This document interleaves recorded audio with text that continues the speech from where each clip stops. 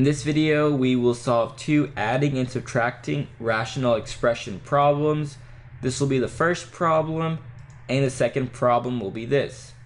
So let's get started with the first one. And so if you notice, we have a common denominator of x plus 2, x plus 2, right?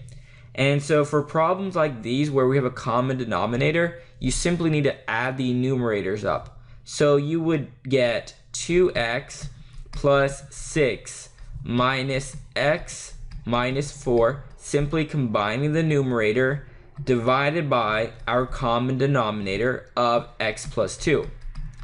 The next step is to combine like terms. You have a 2x here and a minus x. So 2 minus 1 would give us 1, so 1x.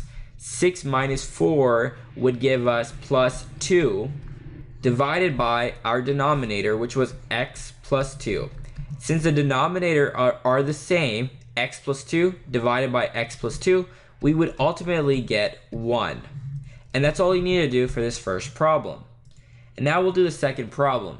Now in this problem, the denominator are different, so we need to get a common denominator. And in order to do so, we have to do one trick.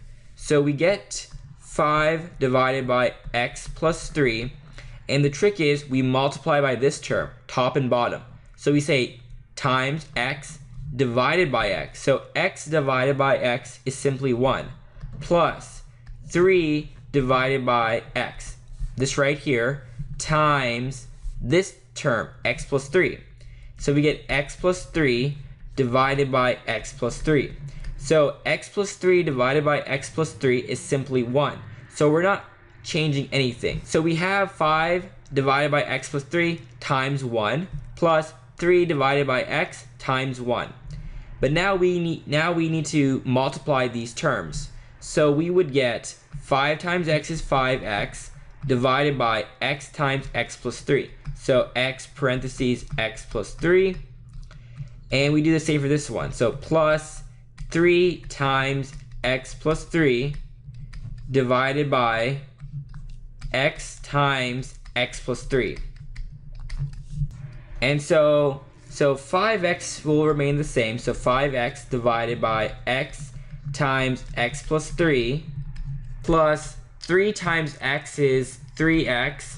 3 times 3 is 9 divided by our common denominator which was x times x plus 3.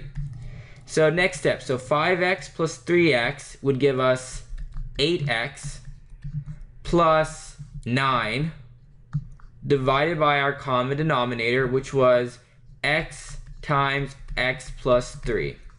And that's all we need to do for this problem.